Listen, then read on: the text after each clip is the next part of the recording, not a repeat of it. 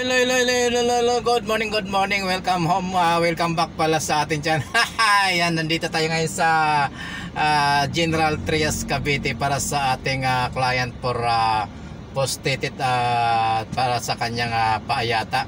Uh, hindi na ako sumama doon kila doktora sa loob kasi uh, mahirap ang parking dito sa Sunnybrook 1 General Trias Cavite. Uh, love shoutout po sa ating mga kaibigang uh, OFW sa ating mga kaibigang uh, subscribers, silent viewers, may club shoutout po sa inyo at uh, isang mapagpalang araw po sa inyong lahat. Ayan, uh, may kamag-anak ako rito sa General Terres. Di ko lang malaman kung sa Sunny Brook 1 o Sunny Brook 2. Ayan, uh, at may club shoutout sa inyo, uh, Reyes family dito sa General Terres, Cavite. Ayan, uh, shoutout, shoutout po sa inyo lahat at uh, update, update lang po tayo sa ating uh, ating uh, YouTube channel. Habang nasa loob yung ating mga kasama si Dr. Uh, Marquez at uh, si Mr. Jeros ka uh, Castillo uh, mega love shoutout po at uh, update update lang po tayo dito at uh, shoutout din po tas, doon sa ating mga kaibigan at mga kapitbahay at mga ka kasama sa hanap buhay na Marites at mega love shoutout po sa inyong lahat at uh, pagpalain po tayo ng Panginoon ayan na uh, ingat-ingat po tayo sa ating ginagawa sa araw-araw. Ayan na. at sa sana sa uh, pagkatapos nito uh, pupunta tayo ng uh, general uh, uh, sa Tracy Martires pala hindi general ito nasa general Trias tayo tapos susunod po ay Tracy Martires ayan hindi natin alam kung uh, saan tayo dadaan papuntang Tracy Martires pero pag lumabas po tayo dito ng Sunnybrook 1 dire-diretso lang po pagkana natin na papunta na po yan ng uh, General uh, ng uh, Tracy Martires das Marinas. Ayan na, uh, may galap shoutout po sa inyong lahat at pagpalain po tayo ng Panginoon sa lahat ng oras.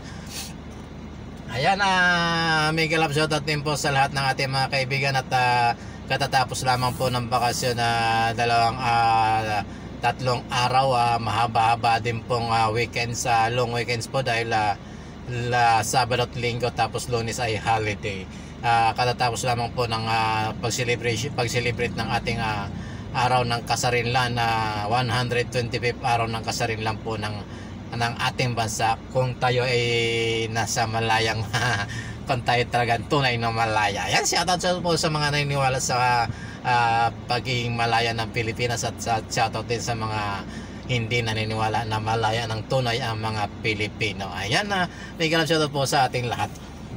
Ayan, uh, chat out chat lang po tayo dito at uh, mamaya maya po pagkatapos ng interview nila, nila doktora sa ating client uh, didiretso na po tayo ng uh, general uh, ng 3C Martires. At doon papasyalan po natin yung trabaho yung pinapasok company yata ni Kuya kung saan eh, nagkaroon po ng aksidente. Uh, dito po kasi yung uh, uh, yung ating uh, pinapasukan ay uh, uh, tumutulong doon sa mga member ng uh, G, ng SSS at ng GSIS. Uh, ah, basta member po kayo ng GSIS at SSS at uh, meron po kayong uh, uh, contribution kahit na isang buwan eh, at mag-apply lamang po tayo ng ating mga benefits dito sa uh, Employment Compensation Commission. Ayan na, na matatagpuan po sa Makati City. Ayan, kung may katanungan po, pwede po magtanong at mag-comment sa ating uh, sa at ating uh, uh, sa ibaba po ng ating video at mababasa po natin yan automatic. Kasi lagi naman po tayo naka-open ng ating uh, ating uh, YouTube or ating uh, email. Ayan uh, shout out shout out po sa ating lahat at mega love shout out po sa ating mga kamag-anak dito sa Cavite. Ayan ka nung nakarang uh, nung nakarang linggo nga pala guys uh, galing tayo sa probinsya or sa Bicol region na buti na lang hindi natin sayang ay hindi natin nakita yung paghirap paghirap ng mayong volcano. Kasi nung pumunta po kami guys sa, sa Bicol hindi namin natanaw yung mayon kasi medyo maulap ng araw na yun. Medyo maulap siya kaya uh, hindi namin nakita yung ganda ni Mayon Volcano. Uh, sinisilip po namin sa telescope pero hindi namin makita kasi napapalibutan po siya ng ulap. Ayan na uh, time check nga pala ay sa eksaktong alas 11 na ng tanghali dito sa uh, sa earth dito sa mahal nating bansa na Pilipinas. Ayan na siya at po sa inyong lahat na uh, pagpalain po tayo ng Panginoon. Uh, medyo dalawang araw lang tayo sa Bicol pero napakasarap po ng buhay sa probinsya. Kung tayo lang po ay mayroong trabaho doon o kaya doon tayo nag napakasarap po ng buhay sa probinsya. Lalo na kung meron kayong kaunting sinasaka. Ay nako, sarap buhay probinsya nga naman. At hindi kagaya dito po sa Kamaynila na lahat po dito ay binibili. Or ah, kailangan may, may kapalit na pera para makakain kayo ng masarap or makakain ng, pa- ng preskong gulay. Doon po sa probinsya, ah, pagdating na pagdating po natin doon eh ah, nagpap, nagpakuha tayo ng buko doon sa isa sa mga tao ng ating ah, kaibigan doon. At ah, uminom kagad tayo ng sabaw ng buko fresh sa from that from the tree. Ayan ang kasarapan lamang po ng buhay probinsya. Pero dahil sa mga sa mga na pangangailangan karamihan sa mga tao sa o mga mga tao sa probinsya eh, pinagbibili yung kanilang maliit na lupa at na nakikipagsapalaran dito sa Maynila. O kaya kung wala namang ah, ah, lupa ron o walang property, talagang nakikipagsapalaran dito sa Maynila. Nakikipag uh, patintero, nakipagbardagulan sa kahirapan dito sa uh, kalunsuran sa Metro Manila.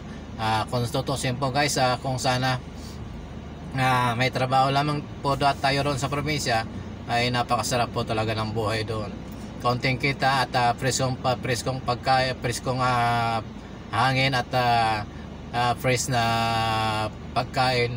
Ah, makakain po tayo doon. Hindi na po natin kailangan na bumili pa ng mga gulay na makikita po doon sa kakahuyan.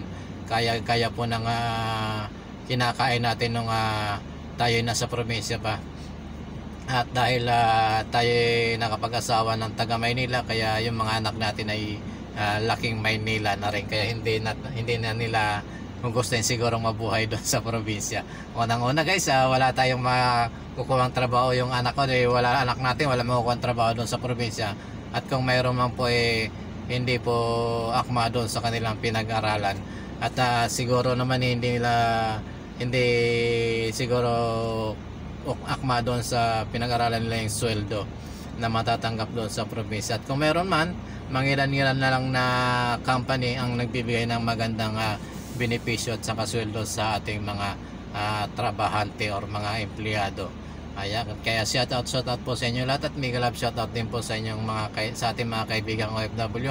Maraming maraming maraming maraming maraming salamat po. Hanggang dito na lamang po ang ating video at ah, maraming salamat po sa inyong lahat sa ating ah, mga silent viewers. Ah, sana tuloy-tuloy lamang po ang uh, suporta niyo at bahala na, bahala na po ang Panginoon ang gumanti sa inyo at maraming maraming maraming salamat po. God bless po.